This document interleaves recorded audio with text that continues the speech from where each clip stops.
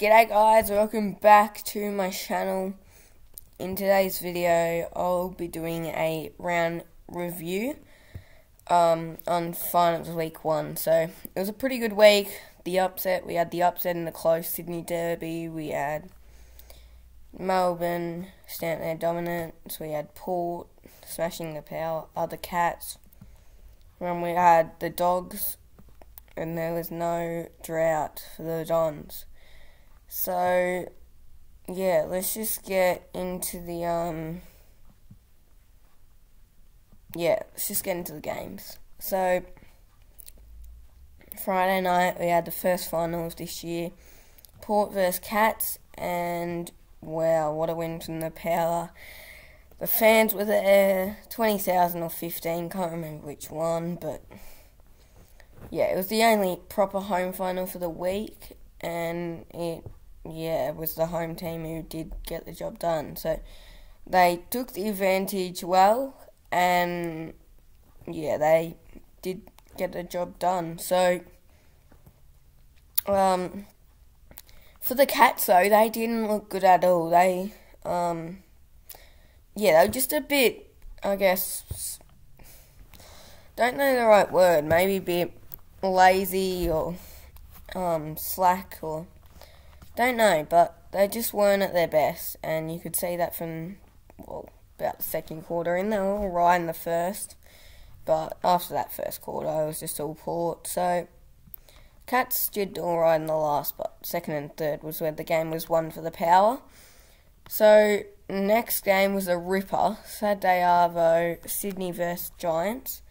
Uh, I missed the start of this game. Uh, I don't know yeah, I was a bit disappointed, but I only missed the first quarter, so it wasn't too bad.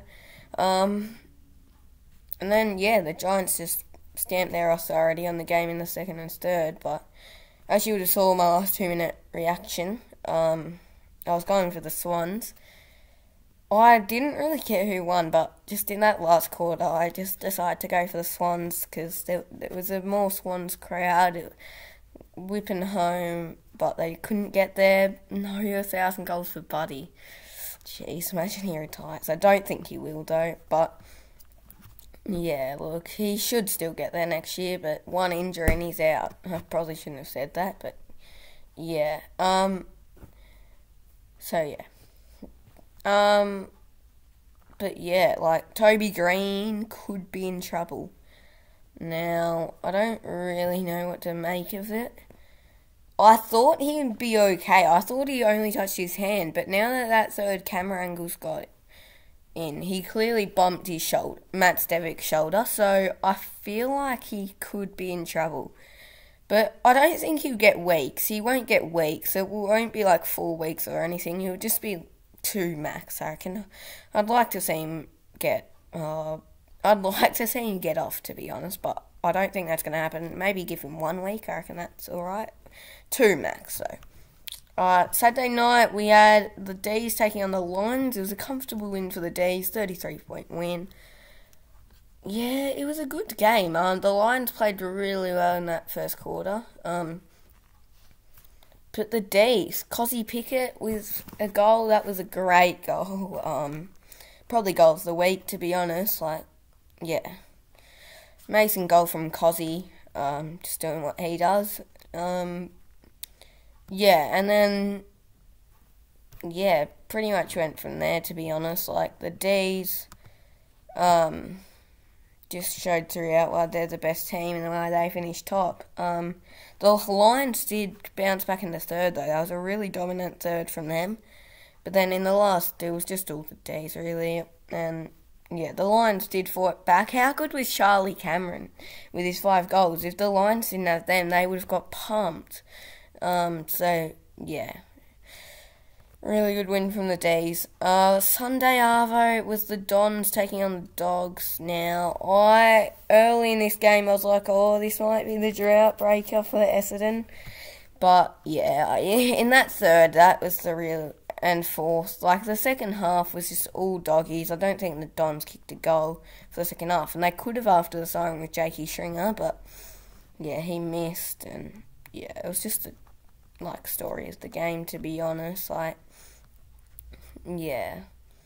So yeah, it was a thumping for the doggies. They might have some form back. That's the big story of this game, I reckon. They could have some form back going into the Gabba against the Lions, so that will be massive. But yeah, look, I just think yeah, the doggies have played pretty well in that second, like very well in that second half. In the like Cody Weightman though, how how like it was a small forward weekend to be honest. Cody kicked four, Charlie Cameron kicked five, Kozzy was lively, kicked a goal of the week probably. Um, so yeah, it's a really good week for the small um, small forwards.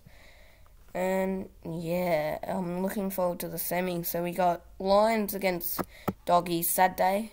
Uh, not might be Saturday twilight, Saturday night. I'd like to see it day twilight. I reckon. Yeah, not sure. I just can't be bothered waiting all Saturday not to see a game of footy till the night. That would be a bit boring. And then Friday night we got the Cats taking on the Giants. I won't reveal who I think's going to win because I'll they'll say that in my tips. But they're going to be some good games, and there definitely could be some upsets. But I know. Doggies might have hit form at the right time. The Giants are in form. They did but knock off the Cats, so it's going to be a very interesting weekend of footy. But that's it for this video. If you did enjoy, please like, subscribe, and all of that stuff. Comment. And yeah, I'll just see you next time. See ya.